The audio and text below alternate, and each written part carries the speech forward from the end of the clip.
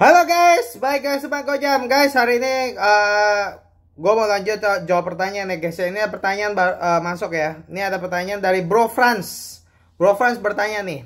Pertanyaan simple. Bro Gojam, mau nanya nih. Watchwinder itu penting gak sih? Tanya tanya. Soalnya kalau lihat toko luxury watch Mereka pun jamnya cuma dipajang aja. Oke. Oke, okay, gue langsung jawab ya Bro Franz ya. Jawabannya, jawabannya sebenarnya simple. Watchfinder tuh penting nggak? Sebenarnya, kalau menurut gue sih nggak terlalu penting lah ya, Watchfinder ya.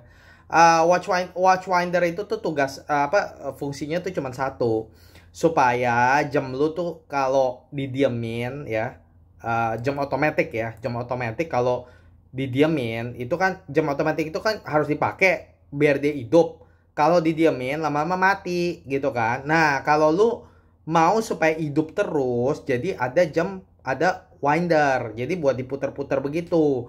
Jadi jam lu tuh hidup terus gitu, ngerti gak?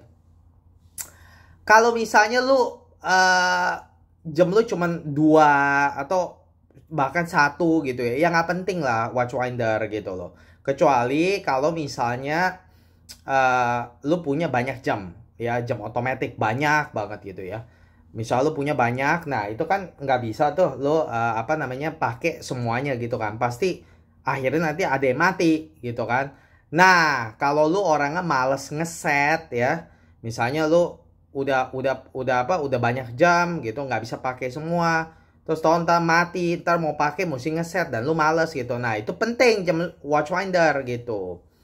Tapi kalau misalnya lu jamnya juga nggak banyak ya nggak penting lah gitu loh. Dan kalau misal lu orangnya juga nggak nggak males ngeset ngeset ya nggak penting gitu loh. Ada orang yang males ngeset gitu ya. Kalau kalau misal lu nggak males sih ya nggak nggak apa-apa gitu. Apalagi kalau ada tanggal nah itu kan males kan gitu. Kalau gua orangnya sebenarnya males sih ngeset ngeset ngeset sih. Apalagi kalau ada tanggal. Kalau nggak ada tanggal nggak apa-apa gitu. Makanya gua secara pada umumnya gua nggak terlalu demen jam ada tanggal gitu. Karena kenapa? Kalau mati gue nggak nggak terlalu ribet uh, iniin tanggalnya gitu. Kak, jadi kalau mau ngeset udah gampang. Ngeset waktu aja nggak usah ngeset tanggal gitu. Jadi jawaban pertanyaan lu itu sebenarnya jadi watch wonder penting nggak? Nggak nggak nggak secara umum nggak penting lah. Kecuali kalau sekali lagi kalau jam lu banyak otomatis dan begitu lu orangnya juga males set set kalau mati gitu. Nah itu penting. Lu lu ambil watch winder gitu. Tapi kalau misalnya uh, lu gak terlalu banyak ya ya dan lu orangnya juga apa kalau mati juga nggak nggak nggak mau apa namanya nggak apa-apa kalau ngeset ngeset tanggal waktu ya nggak apa-apa nggak penting berarti watchfinder gitu. Watchfinder pada umumnya nggak penting sih bro jujuran. Kecuali kalau jam lu banyak itu aja sih. Kalau lu jamnya banyak gitu misal 10 gitu. Nah itu kan lu biar kata nggak males juga ngeset-ngeset kadang-kadang males juga gitu kan ya misal mati mati mati terus udah gitu lo mau mau ini gitu apa mau mau ngeset gitu ngeset sekali 4 5 gitu. Mungkin agak kadang-kadang malas kan gitu kan. Jadi pakai watchfinder gitu loh. Kalau menurut gua sih watchfinder tuh fungsi yang bener-bener paling penting banget adalah satu bro. Menurut gua ya watchfinder tuh paling penting satu kalau menurut gua. Kalau lu punya perpetual calendar.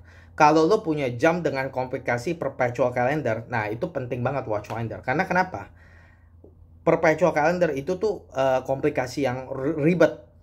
Kalau misalnya dia sampai mati gitu ya, kalau dia sampai mati lu mau ngeset, wah itu ngesetnya nggak gampang itu.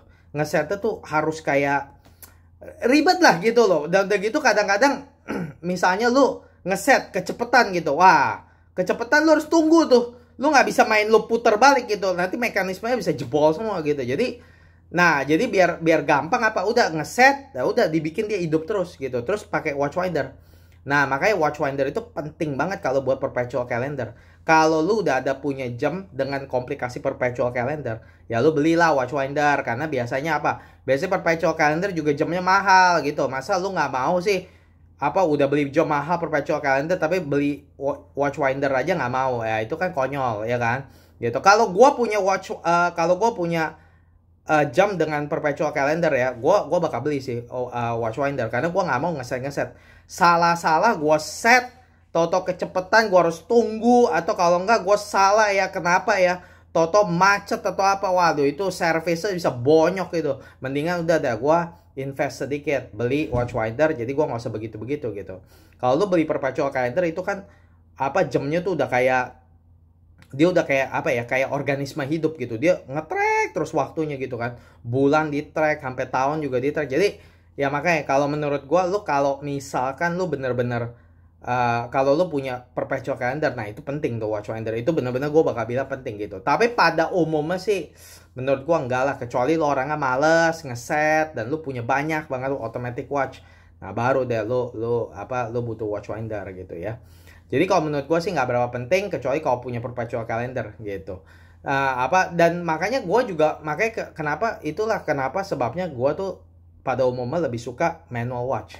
Karena kenapa manual watch tuh gue nggak usah pakai. Gue putar aja gue putar putar putar putar udah. Gue tahu itu jam run terus gitu. Gue nggak usah nggak usah pusingin gitu loh. Ada orang yang justru nggak senang. Kalau gue sih suka gitu. Gue puter-puterin aja gitu. Udah gue udah tahu tuh. Gue putar sehari bisa tahan sampai dua hari tiga hari gitu. Gue nggak usah pusing make pokoknya gue putar. Nggak usah dipakai pun jalan gitu. Nah makanya gue lebih suka manual sebenarnya. Tapi sayang di market lebih banyak tuh otomatis gitu ya. Karena orang tuh rata-rata tuh males apa punya manual watch gitu. Kalau gue lebih suka manual dan gue lebih suka nggak ada tanggal. Jadi kalau mati juga gue nggak ribet pus nggak nggak ini tanggal. Ada orang juga yang nggak ada orang juga yang uh, apa misalnya tanggal ya. Ada orang yang bodoh amat set cuman time tapi tanggal dibiarinin salah. Nah tapi kalau gue orangnya tuh paranoid gitu. Gue orangnya kalau mau ngeset gue harus bener tanggal gitu.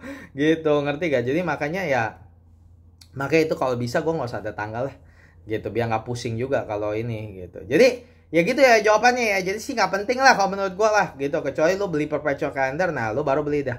Watchfinder dah bro friends. Oke? Okay?